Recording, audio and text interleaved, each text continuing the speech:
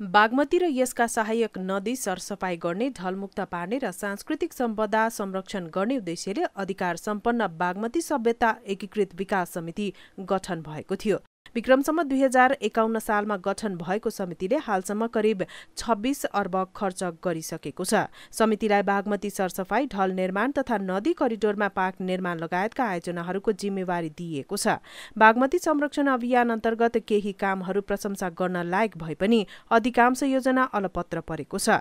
समितिका नाममा अरबौं खर्च हुँदा पनि स्थानीयका लागि पार्क प्रतीक्षालय तथा उद्यान बनाउने आश्वासन दिए पनि समितिले सामाजिक उत्तरदायित्व पूरा नगरेको आरोप लागेको छ। यहाँ हेर्नु हामी मात्रै बुढापाका यो पानी पर्दाखेरि कहाँ भाग्नु? सातापले ल्याएको हुँदैन घाममा बसेर हुन्छ। घाममा बस्दाखेरि पानी आइदिन्छ पानी आएपछि जाने ठाउँ हुँदैन। प्रतीक्षा लय भए त बस्न त सजिलो हुन्थ्यो बस्न त सकिन्थ्यो गफ गफास्ट दिन काट्न सजिलो हुन्थ्यो त्यो पनि छैन। अब यहाँ अरू यस्ता के भनेदेखि अतिथि भनौँ न अतिथि पाहुनाहरू पनि आएर कोही कोही बेला त यसो आएर बस्ने थिए। उनीहरू पनि हुन्थ्यो बागमती सभ्यता भन्छन् सभ्यता सभ्यता रहन्छ हाजिर गर्छन् भात खान्छन् हिँड्छन् पैसा खान्छन् जान्छन्। यहाँ के अरे बागमती सभ्यताको त कुरै छैन यहाँ त।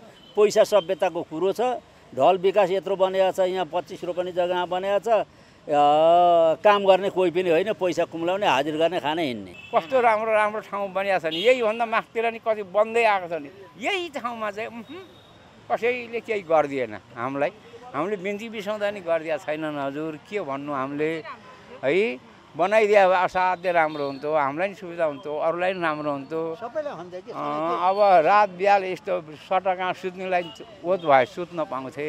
उनीहरूको पनि जय हुन्थ्यो। सबैको भलो हुन्थ्यो नि। तर यहाँ गर्ने कसले हो गराउने कसले हो त्यो बुझ्न सकिएन प्रभु हामीलाई केही थाहा छैन।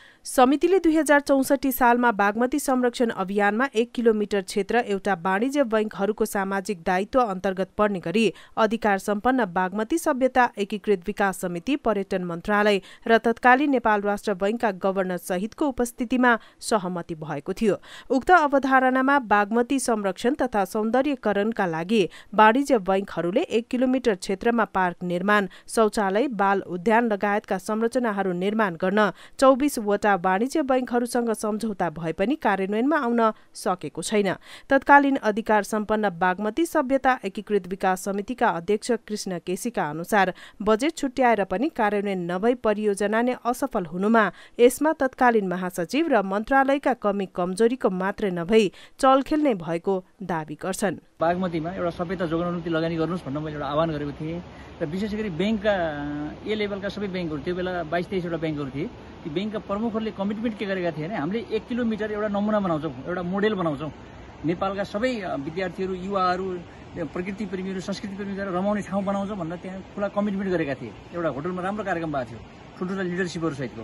अब उहाँहरूले गर्नुभयो कि गर्नु भएन कि किन पछाडि हट्नुभयो किन ब्याग हुनुभयो त्यो उहाँहरूले सोच्ने कुरा हो। काठमाडौँको जमिनको सन्दर्भमा के हो भने भूमाफियाहरूले नेताहरूलाई घर बनाइदिने गाडी किनिदिने तर जमिनको चाहिँ के हो भने दुरुपयोग राज्य सञ्चालकको एउटा हिस्साले गर्ने।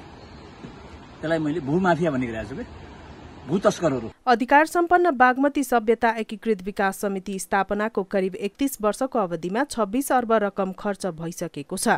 समितिले बागमती सरसफाई ढल राख्ने नदीको दुई किनारमा नदी नियन्त्रणका लागि गाह्रो लगाउने पार्क बनाउने बाटो बनाउने धाप ड्याम निर्माण ऐतिहासिक सम्पदा पुनर्निर्माण तथा जीर्णद्वार कार्यहरूमा खर्च भएको दावी गर्दै आएको छ।